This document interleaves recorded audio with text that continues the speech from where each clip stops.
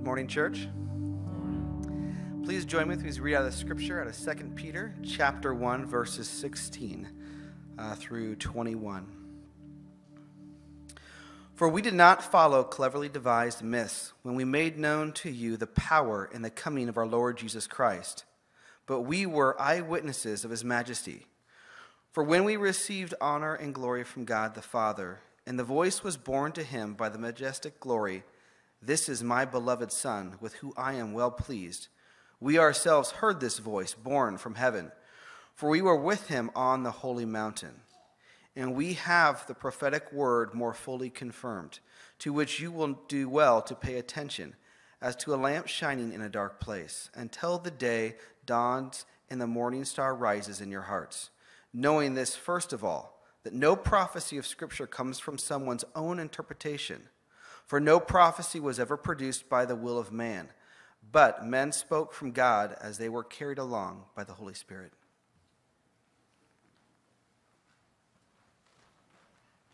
You may be seated.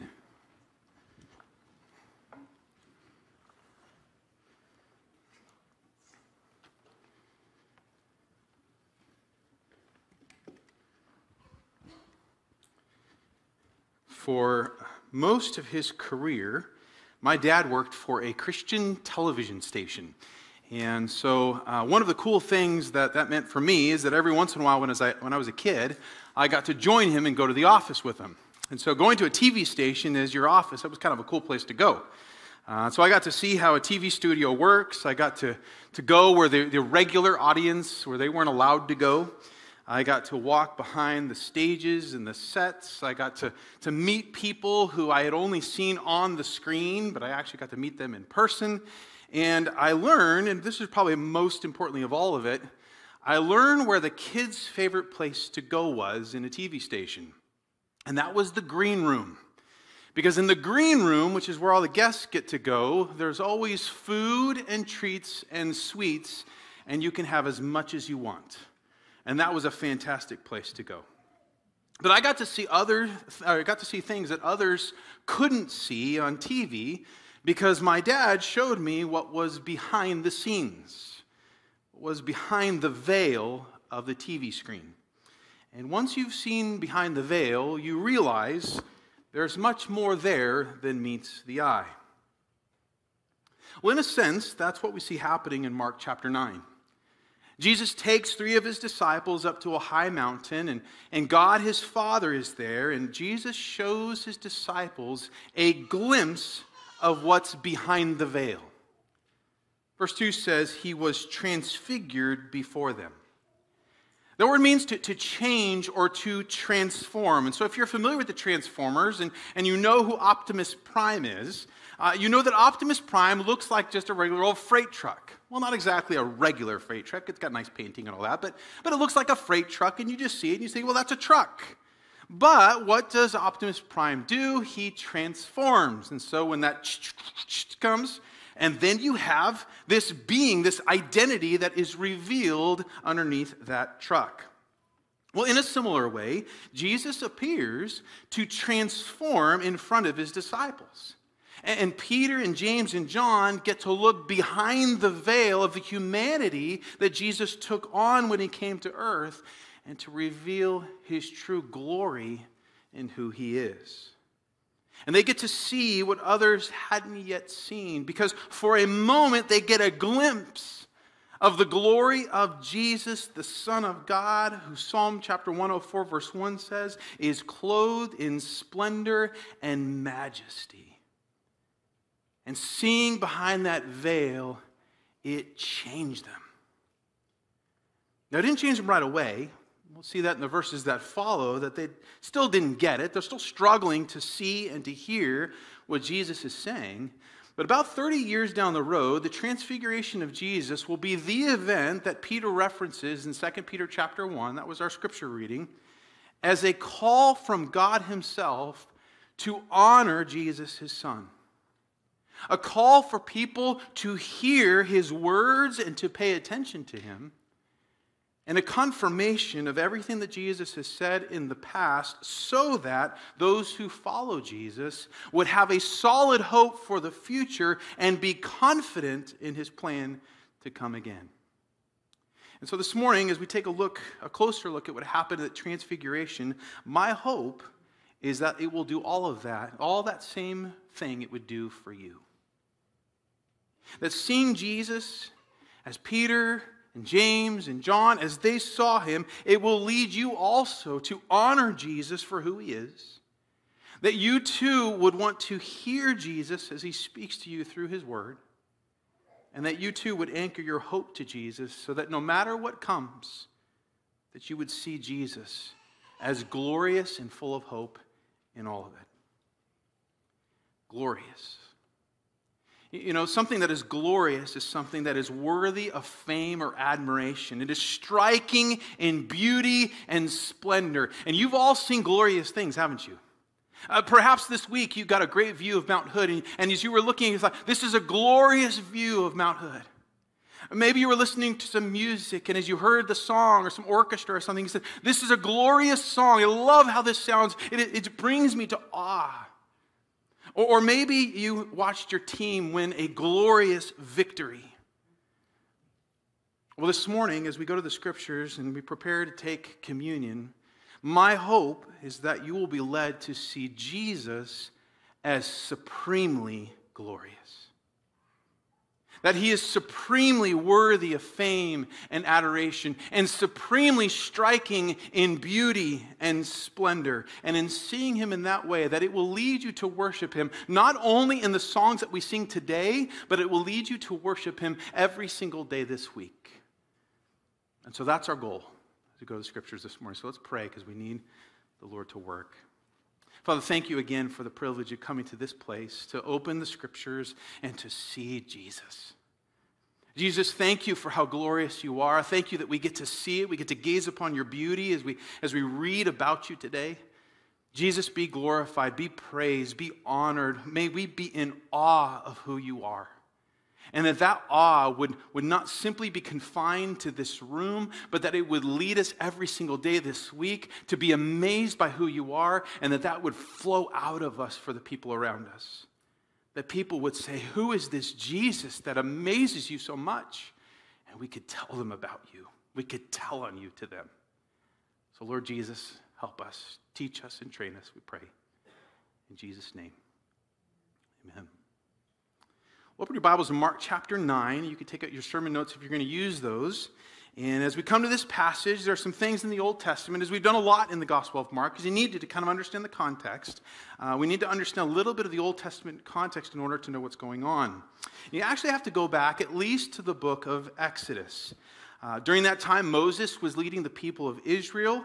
And in Exodus 24, God told Moses to bring with him uh, the, the 70 elders of Israel and, and three men that he named in particular, to bring them with him and to go up to Mount Sinai, Sinai to meet with God.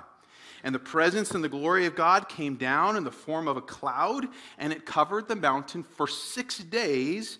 And then God called to Moses to speak with him from within the cloud. So that's Exodus 24. Well, Moses would go back up the mountain to meet with God more times. And in Exodus chapter 34, verse 29, Moses came down the mountain to the people. And because he had been in the presence of God, Moses' skin and his face, if you remember the story, it was shining so brightly that he had to put a veil over it. And so Moses had a special relationship with God. But Moses is going to die. And so before he died, in Deuteronomy chapter 18, verse 15, Moses told the people of Israel, The Lord your God will raise up for you a prophet like me from among you, from your brothers. It is to him you shall listen. And so the people of Israel were waiting for this prophet like Moses to come. Now, fast forward to the book of Isaiah. Isaiah chapter 53, God spoke about a servant of the Lord who would come in the flesh and he would suffer for the sins of people, but by his wounds, people would be healed. And so they were also waiting for a servant who would suffer on their behalf. And so a prophet like Moses and a servant who would suffer. Fast forward again, we go to Daniel chapter 7, verse 9, book of Daniel. Daniel sees a vision of one like a son of man, someone who looks human. But he's coming with the clouds of heaven, and God gives him an everlasting kingdom over all the nations of the world. And so they're also promised a son of man who would rule as God's king over the people. And then we come to the book of Malachi. Malachi chapter 3, the people were told that a messenger would come before the Lord himself would come to his people. And in chapter 4, Elijah is said to be the one who will come before the coming of the Lord. And so they were looking for Elijah to come before the coming of the Lord to reign on the earth. So we have a prophet like Moses, a savior who would be a suffering servant, a son of man who would rule over the earth, and the appearance of Elijah before the Lord himself came to them. Those are these characters who the Old Testament prophets had been pointing the people to. Now, when Jesus came, the Jews at the time, they didn't know that all of those roles would be fulfilled in one person. In fact, the thought of a prophet like Moses also being a son of man and also being a suffering servant, that wasn't something they were even going to consider.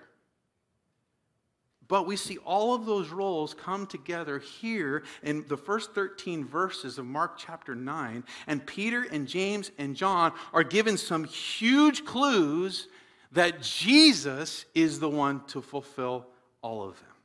So look with me at verse 1. Jesus is foretold about his death and resurrection, and Jesus promises this to his disciples. Mark chapter 9, verse 1. Truly I say to you, there are some standing here who will not taste death until they see the kingdom of God after it has come with power.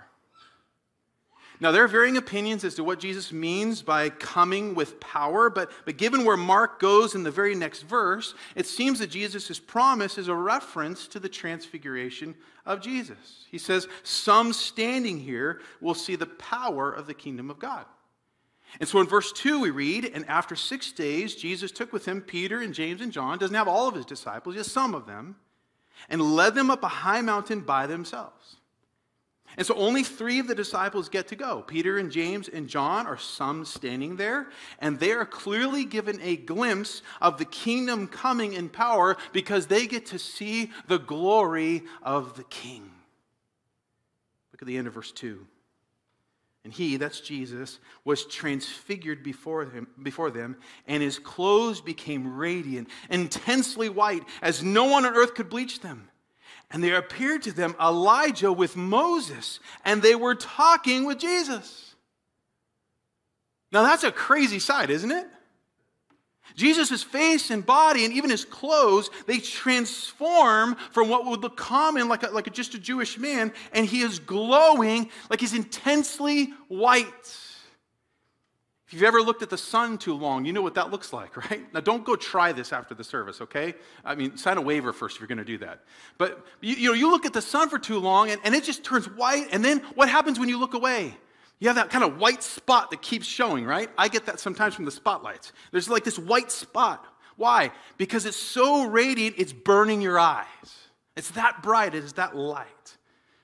Well, that imagery of being radiant and intensely white, that's the same kind of description that's used of God in Psalm 104 and in Daniel 7, where we also see the Son of Man in the presence of God. And so, if you would have encountered that kind of radiance and that kind of intense white and glow in a person, you would know that something divine was going on, and you probably wouldn't know what to say or do in that moment. I mean, it would just be so amazing. Neither does Peter. And when Peter doesn't know what to do, he opens his mouth. Look at verse 5.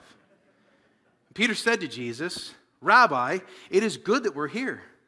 Let us make three tents one for you, one for Moses, and one for Elijah. For he did not know what to say, for they were terrified. So, so Peter sees Moses and Elijah in this glorified version of Jesus, and he is starstruck. Uh, Moses is the hero from Exodus. He is the one who received the law directly from God at Mount Sinai. Uh, Elijah is the hero of Mount Carmel who defeated the prophets of Baal and the one who was prophesied to come before the Lord would come. He is starstruck. And then you have Jesus, and he's glowing and he's talking to them like they're old friends. And Peter's like, This is awesome. We, we have three of the greatest leaders of our faith right here. It's good. This is good that we're here. We need to keep you here. Hurry, get them a tabernacle, get them a tent. They're going to live with us. They're going to live with us just like we did when we left Egypt. Man, the promised land's coming, baby. Right? That's where Peter's at. He's so excited about what's taking place here. Now, here's the problem with that Peter is thinking of Jesus and Moses and Elijah as though they're equals. He calls Jesus rabbi or teacher, and then he suggests that that teacher can equally dwell in tents like Moses and Elijah. See, Peter's missing the point. This isn't a meet and greet with Israel's prophets of old.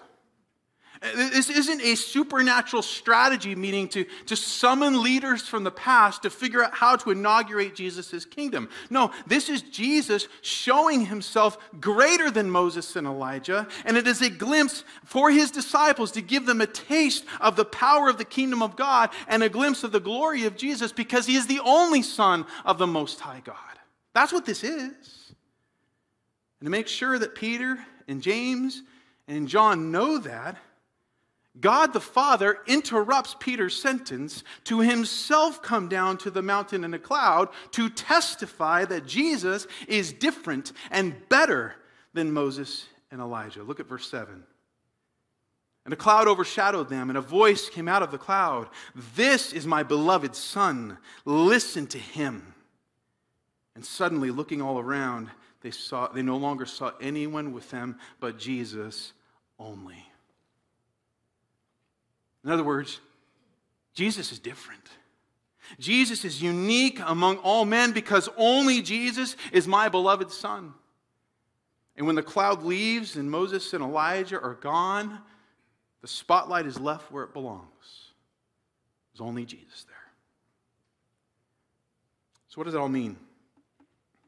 Well, you notice that's what's happened in these first eight verses just like Moses took three named men and these 70 elders up to a high mountain to hear from God, and God's presence came down in a cloud of glory, here Jesus takes three men with him to a high mountain, and God comes down to meet them in a cloud of glory, and God speaks to them.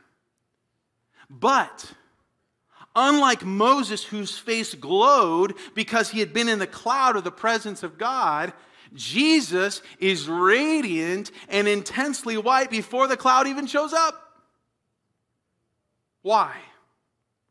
Because unlike Moses and Elijah or any other mere prophet, Jesus is the Son of God. And he is the one who all of those prophets in the past were pointing to all along. And God the Father himself has come to testify to it. And we have these three witnesses who have seen it and heard it. So that Peter will testify later on, 2 Peter chapter 1 verse 17, for when he, that's Jesus, received honor and glory from God the Father, and the voice was borne to him by the majestic glory, this is my beloved son with whom I'm well pleased. We ourselves heard this very voice borne from heaven, for we were with him on the holy mountain. You know how Peter defines that moment? He defines it as a time where Jesus received honor and glory from his Father. So, point number one this morning the transfiguration is a call to honor Jesus because Jesus is glorious in his being. He is glorious in just who he is. Just who Jesus is makes him majestic and full of amazement and awe. It's like if you've ever gone to the Grand Canyon or, or Niagara Falls, or you went to the coast and you saw a sunset on the Oregon coast and, and the waves are crashing and you could hear the roar of it, and there it is, this beautiful sunset, haystack rock, it's all there. You look at it and you say, That is amazing. That is glorious. It doesn't need any architecture to be built up around it to make it majestic. They don't need people to do any touch up work to make it look amazing. They don't need anything about them to be added to make you feel small and to say, wow. They're glorious simply because what they are. Well, that's what the transfiguration of Jesus shows us about Jesus. That Jesus is glorious simply in who he is. He is the majestic Son of God who lives in glory and splendor. Now, that should amaze us, shouldn't it? Shouldn't that cause us to have our jaw drop and say, Wow, look how glorious he is? It should cause us to live in utter astonishment each day that we as a sinful people have the privilege of knowing him. We should be daily struck by the grace that such an amazing being would want to have relationship with us.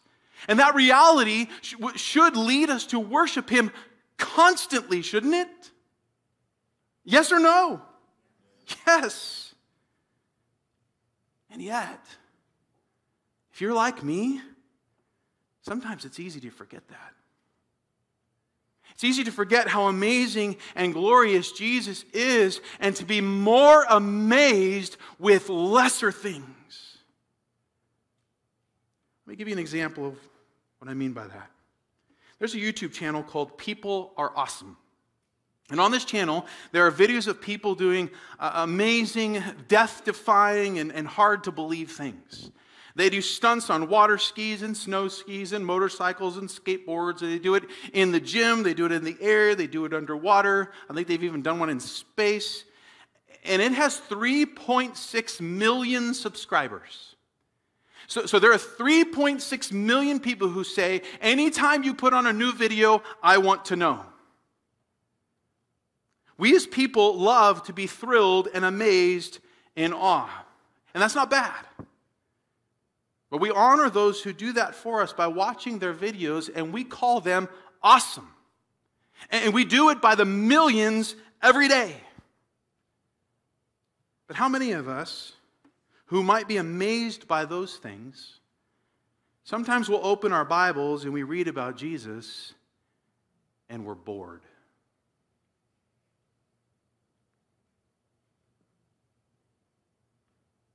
Why? Why aren't we awestruck by Jesus? Maybe, maybe it's because we've forgotten that Jesus is the one who holds the cells of all of those awesome people together.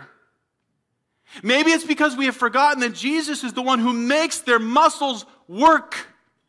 Maybe it's because we've forgotten that Jesus is the one who created the water and the sky and the ground that they use as their playground. Maybe it's because we've forgotten that Jesus is the one who controls the laws of nature that they get to play in, and when they seem to defy the laws of nature, it's because Jesus permitted it. And maybe it's because we've forgotten that Jesus is the one for whose glory all of those people were created in the first place. So that we would not say that people are awesome, that we would say Jesus is awesome. But we forget that. We forget that. And so we honor Jesus by singing on Sundays, but on Monday, we often go back to looking for other things to amaze us. And when I say we, I'm with you in that. Brothers and sisters in Christ, if that's us, we have a worship problem.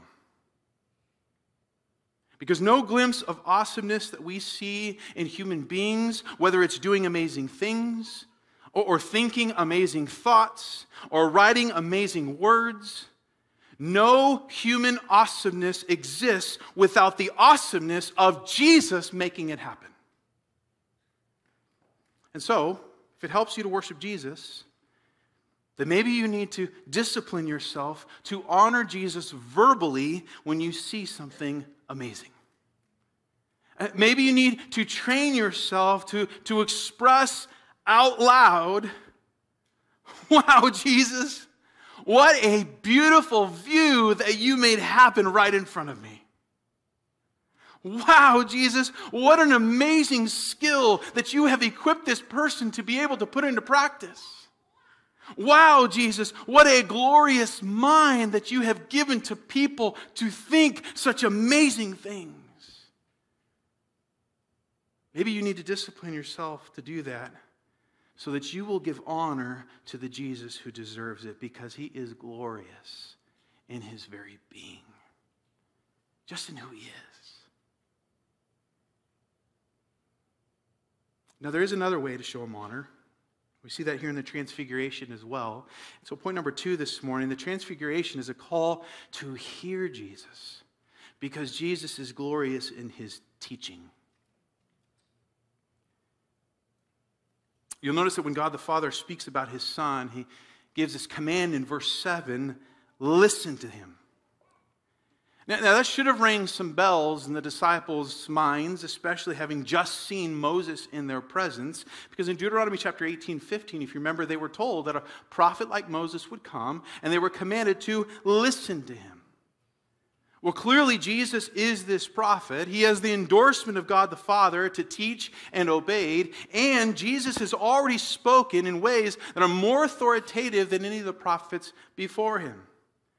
If you remember, the Old Testament prophets, they were speaking, but they weren't speaking their own words. They were speaking the words of God. And so whenever they would preface something they would say, they would say, Thus says the Lord, right? It wasn't their words, this is the words of God. But you'll notice when you look back at verse 1, Jesus doesn't talk like that. How does Jesus begin when he speaks? He doesn't say, Thus says the Lord. He says, Truly I say to you. In other words, Thus says me right? I am, I am the Lord. This is my word. And everything the Lord says is true. And because it's true, it is worthy of awe and splendor, and it is worthy of hearing and obeying. Now, in light of that, I want you to consider this thought this morning. If Jesus is glorious in his teaching, if he is glorious and worthy of splendor and amazement in his teaching, then why do we sometimes go to other people first when we need answers? Why do we do that? What is competing with Jesus for your ears? Is it your favorite website or podcast? Or your favorite spiritual guru? Do we go to those before we go to Jesus? If so, just think about this. If you want the best teaching on a topic, who should you go to? Probably the person who invented that thing or who knows the most about it, right? That's who you should go to. Well, there's no better teacher than Jesus. And so, are you having problems in your marriage? Jesus' teaching on a healthy marriage comes from the author of marriage. Uh, are you having challenges in parenting? You're dealing with your kids. Jesus' teaching on parenting comes from the one who invented parenting. Do you have a moral dilemma or an ethical question? Jesus' teaching on right and wrong comes from the one who is the truth. Do you have fears because you don't know what the future holds? Jesus' teaching on the future comes from a king who holds the future in his sovereign hands. Jesus is glorious in his teaching. And his teaching is his Bible. And so listen to him. Pick it up, read it, and then do it. So, where are you looking for answers? Where are you looking for wisdom and advice? If you're looking to others instead of Jesus, not only are you disobeying God the Father, who says, This is my beloved Son, listen to him, but you're also not getting the best teaching there is because only Jesus is glorious in his teaching. And then finally, this morning, point number three the Transfiguration calls us to hope because Jesus is glorious in his suffering. He is glorious and he is glorified in his suffering. After the transfiguration was over, it was time for them to, to leave the mountain. And in verses 9 through 13, we see the disciples trying to process all that's taken place. And so Jesus uses this as an opportunity to gloriously teach them. Look at verse 9. And as they were coming down the mountain, he charged them to tell no one what they had seen until the Son of Man had risen from the dead. So they kept the matter to themselves, questioning what this rising from the dead might mean. And they asked him, Why do the scribes say that first Elijah must come? And he said to them, Elijah does come first to restore all things. And how is it written of the Son of Man that he should suffer many things and be treated with contempt? But I tell you that Elijah has come, and they did to him whatever they pleased, as it is written of him. Now, as I said earlier, the disciples didn't have any concept of the Son of Man and this prophet like Moses also being this suffering servant. And so it didn't make sense to them because, in their, their understanding, the coming of Elijah was to restore all things and to usher in the Son of Man to reign in his kingdom. And so there was no room for the Son of Man suffering in that equation. So they have questions. If Jesus is the Son of Man, then where's Elijah? And where does this suffering come in and why? Well, Jesus answers their questions by affirming that Elijah must come. And then he notes in verse 13 that Elijah had come. And they did to him whatever they pleased, as it is written of him. Now, Mark doesn't say it, but Matthew notes in Matthew chapter 17 that John the Baptist was the, the Elijah sent to prepare the way for the coming of Jesus. And he says in verse 12, they did not recognize him, but did to him whatever they pleased. So also the Son of Man will certainly suffer at their hands. And so consider the context here. They have just seen the Old Testament Elijah on the mountain in front of them, and Jesus tells his disciples John the Baptist was the New Testament Elijah, and in being killed by Herod, he suffered to prepare the way for Jesus to come and to also suffer. Here's the thing I want you to focus on this morning as we close. That suffering was always part of the plan to glorify Jesus. It was always part of the plan. And therefore, because the plan worked, that should give us hope. Here's why. The disciples' question about, about Elijah, what prompts that? If you look at the text, what prompts their question? It's prompted because Jesus talks about rising from the dead. Verse 9, it says, He charged them to tell no one what they had seen until the Son of Man had risen from the dead. And then in verse 12, he said to them, It was written of the Son of Man that he should suffer many things. And so what Jesus is saying is, his suffering is a part of God's plan. It was written in the scriptures, it was prophesied to come, but they're not to tell anyone about it, what they've seen on this mountain, until, until, until the Son of Man has risen from the dead. And so what is Jesus saying is certain in that command? What's certain? He's going to rise, right? He is going to rise. They can know that he is going to rise from the dead, and therefore there is hope. Why? Because they have just seen him glorified on this mountain. And after his suffering, he will rise by the plan of God, and he will be even more glorified because of his suffering. Hebrews chapter 2, verse 9 says, He is crowned with glory and honor because of the suffering of death. And here's why that is full of hope for you and me. First, it means that we have a future glorification of Jesus to look forward to. Someday, Jesus is going to return in glory and splendor. Revelation chapter 1 says, Behold, he is coming with the clouds, and every eye will see him, even those who pierced him, those who caused him to suffer. Someday, the Jesus who suffered on our behalf is going to be glorified in front of everyone. But it also means that there's hope for us. Hope as we go through suffering, even now, on Christ's behalf. Just listen to how the scriptures speak of our suffering in this life. Paul says in Philippians chapter 3 verse 10 that he suffered that I may know Jesus and the power of his resurrection and may share his sufferings becoming like him in his death that by any means possible I may attain to the resurrection from the dead. Knowing Jesus and knowing his power comes from suffering with Jesus. Colossians chapter 1 verse 24 Paul says, "Now I rejoice in my sufferings for your sake, and in my flesh I am filling up what is lacking in Christ's afflictions for the sake of his body, that is the church." Uh, Paul isn't saying that there's anything that was lacking in Jesus dying and what he did on the cross for us. What he's saying is that when we suffer for Christ, then it is Jesus gloriously continuing to suffer for his church through our suffering because he suffers with us. We suffer with him, we suffer his sufferings. And Peter says we are to rejoice in hope for that. 1 Peter chapter 4 verse 13 but rejoice insofar as you share Christ's sufferings that you may also rejoice and be glad when his glory is re- revealed.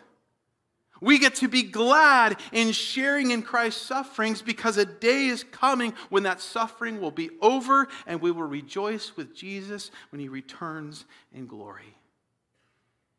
And so Jesus was glorious in his suffering on the cross.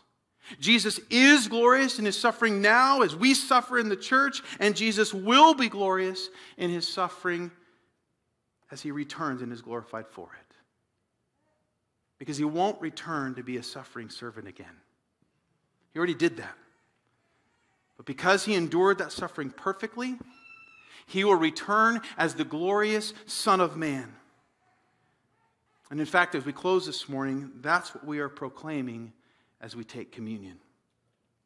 Paul says in 1 Corinthians chapter 11 verse 26, in communion we proclaim the Lord's death. We proclaim his suffering. Even as we suffer with him, even as we face trials, we identify with him. We proclaim his suffering until he comes. That's our hope. That's our hope. And the transfiguration of Jesus is just a taste of what we have to look forward to because Jesus is glorious. Now, doesn't that make you want to worship him? Let's pray as we prepare for communion. Jesus, thank you that you are worthy. Thank you that you are glorious.